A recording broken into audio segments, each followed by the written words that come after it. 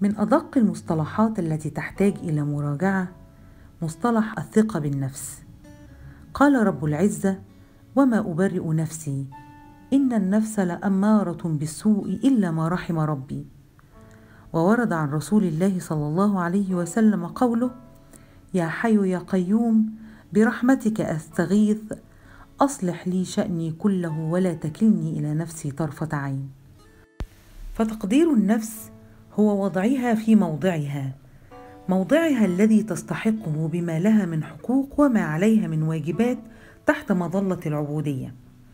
فالثقة لا تكون إلا بالله وطلب العون منه. وهنا معنى الثقة والقوة الحقيقية. لأنك في حقوقك سوف تطلب ما أقره الله لك. وفي واجباتك ستؤدي ما فرض عليك. ومن يتعامل بالحق والعدل لا يضل. والفرق واضح لمن كان مؤشر بوصلته لنفسه ومن كان مؤشر بوصلته لرب السماء. فكرامة العبد وشرفه من قوة وعظمة وجهته. فاللهم إنا نعوذ بك أن نضل أو نضل. لو عجبتكم تمرية النهارده شاركوها مع كل اللي بتحبوهم. وإن شاء الله أقابلكم في تمرايه جديدة. والسلام عليكم ورحمة الله وبركاته.